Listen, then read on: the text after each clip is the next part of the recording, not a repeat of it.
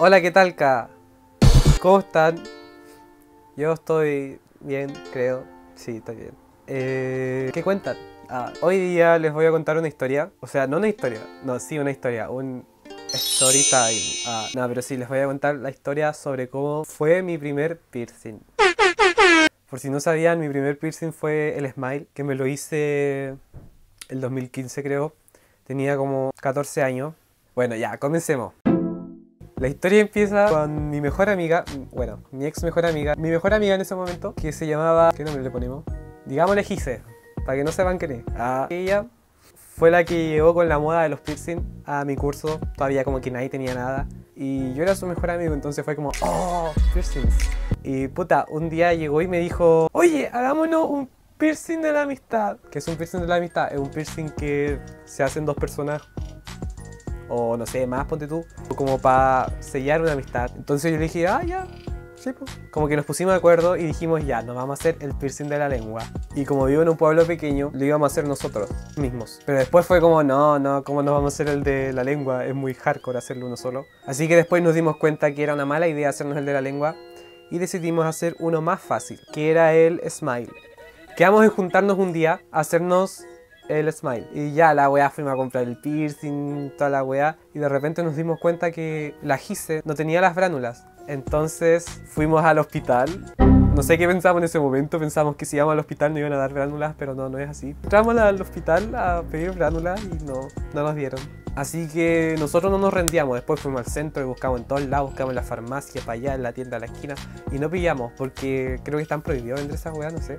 Ay, qué hora wea, Fue como, ya puta filo, no pillamos las bránulas, vamos a comprar a otro pueblo más adelante y ahí lo hacemos. Pero yo como que me ahueoné, en ese momento fue como, no, tengo que hacerme un piercing. Y al llegar a mi casa yo tenía el piercing comprado, entonces era como, no, weón, tengo que hacérmelo, lo necesito, lo necesito, lo necesito, lo necesito. Así que yo, en mi momento de ahueonamiento, empecé a buscar por mi casa agujas, de todos los tipos, todos los tamaños.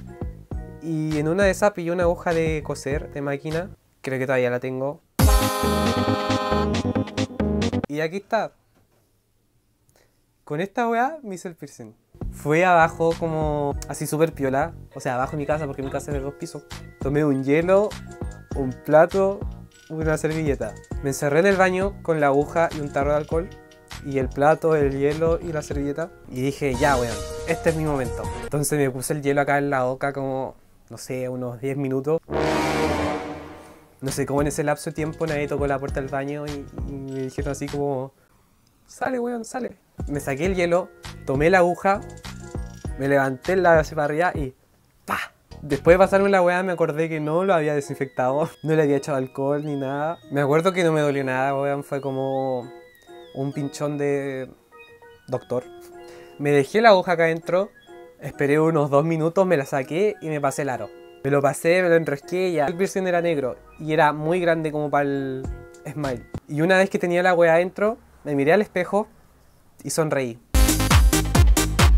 Ahí fue cuando me di cuenta de cómo chucha iba a esconder esa tremenda wea negra. Porque no le había pedido permiso a nadie y mi mamá es muy cuática con el tema de los piercing, así que ahí estoy analizando cómo lo iba a esconder. Así que rápidamente busqué en Google cómo esconder el de Smile.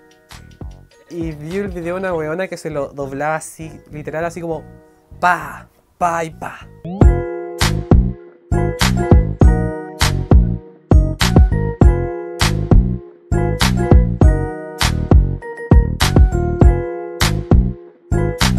Igual me lo doblé así, weón.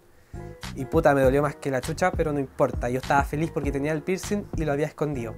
Luego que salí del baño, como que traté de ocultar la evidencia, dejé el alcohol por allá, la aguja por acá, boté el hielo, el plato, lo fui a dejar abajo, la servilleta lo boté, los confort con sangre también. Después llegó la noche y por fin me lo a dar vuelta y oh, la wea me dolía a cagar. Uno que lo había hecho con la aguja cochina. Dos, que lo había dado vuelta entero. Y tres, que era la media wea. No sé si influye, pero me dolía, me dolía, me dolía, me dolía, me dolía. Me lo hice en la tarde para que nadie se diera cuenta y al otro día tenía clases, así que no se iban a dar cuenta por largo tiempo. Así que eso, al otro día llegué a clases y llegué así como... Sí, yo me lo hice. No había rato que no sonriera, weón. La weá es que pasaron como dos semanas así. Mi mamá no se había dado cuenta de nada. Mis hermanos tampoco. Prácticamente a mí me hablaban y yo estaba así como... Hola. Nada, sí, es que me duele un diente. Un día yo para hacerme así como... Oh, me hice un piercing. Voy donde mi hermano, el Javier. Váyanse a la mierda, conche su madre. Y le digo así como, oye. Y él me dice, ¿qué? ¿Te cuento un secreto? A ver, dime. Mira, me hice un piercing. Javier me guardó el secreto así. Después de eso mi amiga la quise. Me dijo, no, weón, esa wea negra grande no, no, no te queda bien. Yo le dije, no, weón, tenés razón. Así que fui con ella al centro. Ojo que mi colegio quedaba la chucha al centro en ese entonces. Yo no me demoraba más de 20 minutos en llegar a mi casa. Y ese día me demoré como más de una hora, una hora y algo. Me compré la weadita, un piercing más chico, más bonito. Ya llegué a mi casa y era raro que me haya demorado tanto en llegar a mi casa, así que mi mamá como que ya sospechaba algo. Como era viernes iba a pasar más rato en mi casa que los otros días, así que tenía más posibilidades de que me pillen y tenía que andarlo escondiendo a cada rato. Yo normalmente soy de estar harto tiempo en la parte de abajo de mi casa. O sea, en ese tiempo ya no, pero sí, estaba bastante rato compartiendo con mi mamá. Y esas dos semanas estuve súper distante por esconder la weá. Puta, me caigo, weón, me caigo, me caigo. ¿Cómo lo mueve esa muchachota? Mi mamá me dijo, "Oh, ¿qué te pasa en la boca? ¿Por qué anda ahí con la boca rara? Yo le dije, "Mm, no, nada, no tengo nada. Y puta, y me fui para arriba, pues me fui para mi pieza y no bajé hasta que me dio hambre. Me dio hambre, weón, bajé, me estaba haciendo un pan. Y en eso de que me estaba haciendo un pan, mi mamá me dice, abre la boca. Yo le digo, ¿vos por qué? Abre la boca. No, no tengo nada, ¿para qué? Abre la boca, weón, abre la boca. No me dijo, weón, pero yo le pongo. Fue como que la miré y corrí. Run. Corrí para arriba, corrí así. Run. La cocina estaba acá, había una escalera y acá estaba la pieza de mi hermano Javier, el que sabía sobre el piercing. Así que yo he hecho un peo, weón, fue lo más rápido posible a la pieza de mi hermano. Fue lo que más se me atinó, fue como, ya, este weón me va a defender. Así que corrí, corrí, corrí, corrí, corrí. Mi hermano estaba durmiendo, estaba acostado. Así que yo voy, abro su puerta así, pa, y le digo, Javi, Javi, Javi. Y mi mamá venía atrás mío corriendo. Y mi hermano se despertó todo asustado, así como... Y puta, no, no le dije a mi hermano así como mi mamá me escogió el piercing, porque todavía mi mamá no sabía que era un piercing. Así que me quedé ahí y le dije, ¡ah! Y de repente mi mamá llegó y llegó mi otro hermano y me dijo, ¡abre la boca! Y yo ya no podía escapar porque estaba en la puerta y ya, ya me rindo. Así que voy, le abro la boca, pero se la abrí mal, se la abrí así como con el labio tapando hasta los dientes, así. Y me dijo, levanta tu labio. Y me vio todo el piercing colgando, weón. Y hinchado porque la weá estaba hinchada. Y en ese momento me retaron, me dijeron, pendejo tonto, sácate esta cuestión al tiro, te voy a cortar el internet, el net, el agua, la luz, no voy a tener celular nunca más, te voy a quitar el computador, te voy a quitar todo. Me hizo sacarme el piercing, yo, yo todo avergonzado, rendido, me saqué el piercing, se lo entregué y me dijo algo así como, chao, no nos vemos. Y se fue con mi piercing. Creo que hasta el día de hoy mi mamá no sabe que mi hermano sabe que sabía. Como lo había tenido dos semanas, la weá me seguía abierta y me ponía un piercing de ombligo. Pero al final me terminé aburriendo porque tenía que sacármelo cuando llegué a mi casa. La weá estaba como infectada así feo. Así mal. Así que me terminé aburriendo y no me coloqué la weá nunca más. O sea, no nunca más. Unos meses después me lo volví a abrir. Después me volvieron a pillar y después me lo volví a abrir y me volvieron a pillar. Así que, moraleja, si se van a hacer alguna weá, díganle a sus papás porque es una paja tremenda andar escondiendo las weas y no.